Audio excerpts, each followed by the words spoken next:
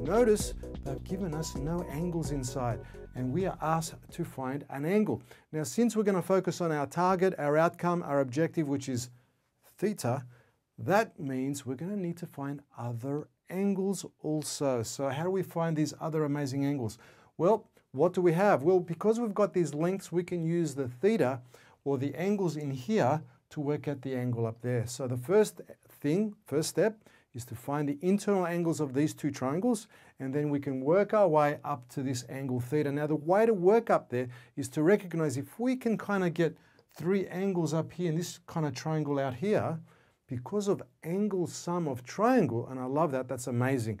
Angle sum of triangle, where we have two angles, bang and bang, we can work out the third angle easily and effortlessly. But the objective is to find these angles first. So let's have a look at what angles we can find easily first. The first one I suggest we find is this one right in here. Why? Why do we need to find that?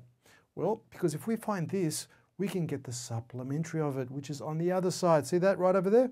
And if we get the supplementary, and we can work out this angle given the adjacent and the opposite here, then we'll have two angles. That, those two angles will be angle sum of triangle, as I said earlier, and that'll give us this final angle theta. So let me walk you through it now. Let's start off with step number one, and that is to find the angle in here. So what are we going to call it? Let's give it a name. Let's call it angle alpha. All right, there's our angle alpha. There we go. Let's find angle alpha. So this is the way to do it. Um, it's going to be opposite, as you can see here, over adjacent, right? Right next to is that length there. So opposite of adjacent is tan. So let's do that. So let's go tan, tan alpha. Let's fix that up. Tan alpha equals opposite, which is 8.5, over adjacent, which is 10.2. Okay, tan alpha, 8.5, 10.2. Let's put that in the calculator. 10, 8.5 divided by 10.2 will give us a decimal. Then you go shift tan and then shift degrees, minutes, seconds. So you get it in degrees and minutes. So in this particular example, we will get alpha equals, once we've gone through that process, alpha equals 39 degrees and 48 minutes. Okay, did you get that? I'll repeat it. What you do is you go 8.5 divided by 10.2, that'll give you a decimal. Then you go shift tan, that'll give you a decimal degree. And then you go shift DMS or degrees, minutes, seconds, and it will give you degrees and minutes and very few seconds. So we rounded it up here, yeah? So let's write that down here next to the alpha. Can we do that? So this angle here will be 39 degrees and 48 minutes. Okay, cool, we got that angle. Now, the next angle I want to get is this angle in here. So that's going to be supplementary, isn't it? Which is easy to find because it's a straight line and you've got a line cutting through it. And if you remember your geometry, supplementary on the inside. So what are we going to call that angle? Let's call it another Greek letter. Let's call it gamma. Let's call it gamma. Let me just put the gamma in here. There we go. There's our gamma. Now, gamma is going to be supplementary to that. So let's work that out and go 180 which is the straight line, take away gamma, which, take away alpha actually, take away alpha, is going to give us the angle gamma, isn't it? So let's write that down again. Let's double check, let's point it out. 180, straight line, take away alpha, which is that angle there, is going to leave us that angle gamma there. There's gamma there. Can you see that? All right, let's actually work that out. That's going to be, that's 39 degrees 48 minutes. 48 minutes. Let's subtract them, put them in the calculator, and it'll give us a final result of gamma equals 180. Take away 39 DMS, 48 DMS.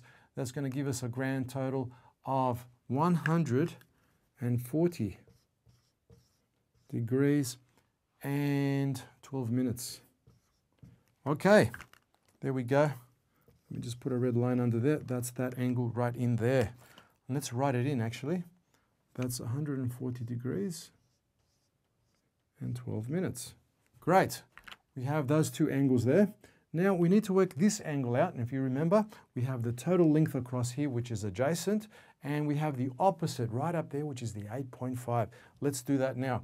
So that's going to be a tan, obviously, opposite, over adjacent, as you're well aware. So let's write down now tan. And that's going to, what angle shall we call it? Let's call it beta. Let's call it beta. Let's put it in there. So angle beta is going to be right there. Angle beta will be, that equals, um, well, opposite, which is 8.5, and adjacent is actually that length plus that length together. So that's 7 plus 10.2. Together they add up to 17.2. So let's put that in. So that's going to be over 17.2, and that's the adjacent down the bottom. And opposite right in front, of course, is the 8.5. Let's put that in. 0.5. Okay, let's put that in the calculator. 8.5 divided by 17.2. That'll give us a decimal. Then you go shift tan. Once you do shift tan, that'll give you a decimal degree. And then you go shift degrees, minutes, seconds. It'll give you degrees and minutes and seconds. So that'll give us a final answer for beta. So beta will equal, once you've put that into the calculator, beta will be 26 degrees and 17 minutes 53 seconds. Now we can round that up, can't we? 17 minutes 53 seconds. 53 is above 30. So that means this 17 goes up, doesn't it? We round it up. Therefore, beta will be 26 degrees, 18 minutes. It went up, yeah? So there's our beta right there. There's our beta, there's our gamma, and here's our alpha.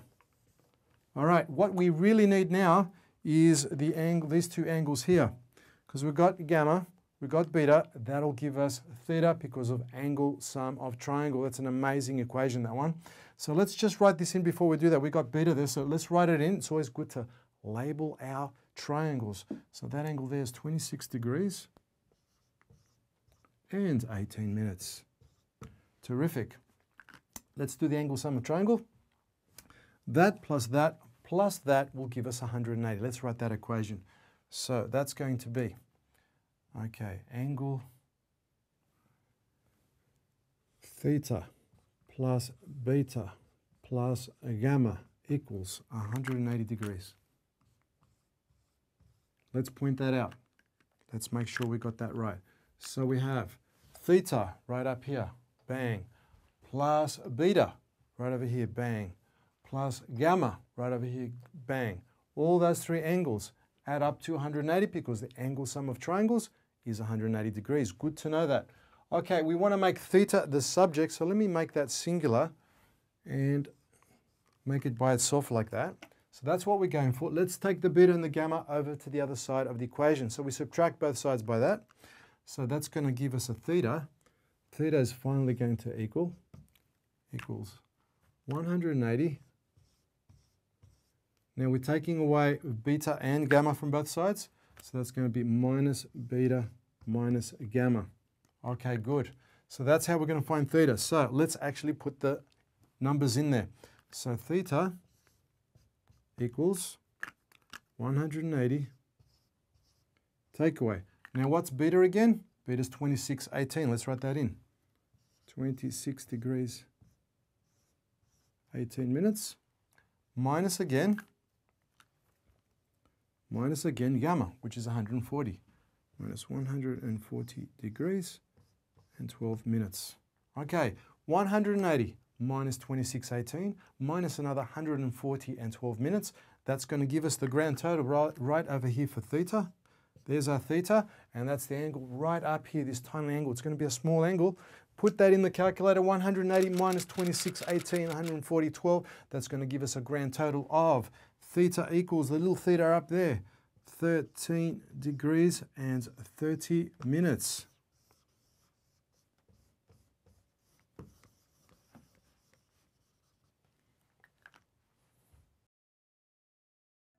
Take a minute to check out our website at http colon forward slash forward slash www.vividmaths.com.